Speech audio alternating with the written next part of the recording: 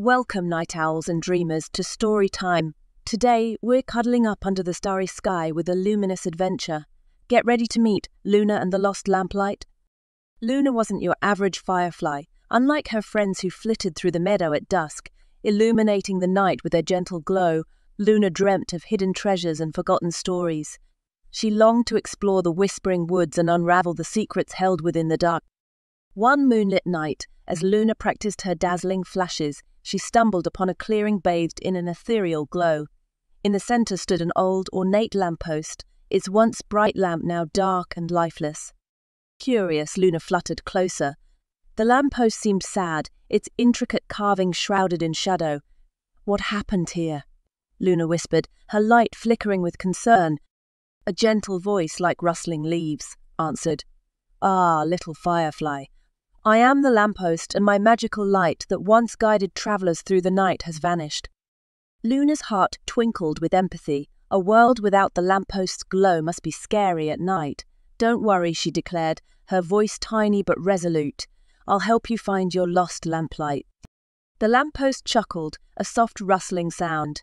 A brave little firefly in a quest, but where should we begin? Luna, ever the explorer, remembered hearing stories about a wise old owl who lived in the heart of the forest. We must seek the wisdom of Hootbert, she announced, her light flashing with newfound determination. Together, Luna and the lamppost, who could magically move with a soft creaking sound, ventured into the whispering woods. Luna led the way, her tiny light illuminating the path, while the lamppost shared stories of the forest under the moonlight. They finally reached a towering oak tree, Hootbert's home. The wise owl, with eyes that shone like golden coins, listened intently to their tale. The lost lamplight, he hooted thoughtfully. It might be hidden within the wishing well, a place where forgotten dreams sometimes gather.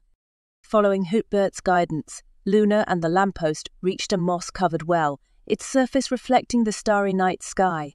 With a deep breath, Luna dipped her tiny body into the well. The water shimmered, revealing forgotten melodies and lost laughter. Then Luna spotted it, a faint, warm glow pulsating at the bottom. It was the lamplight. With a determined wiggle, Luna emerged from the well, carrying the tiny ball of light.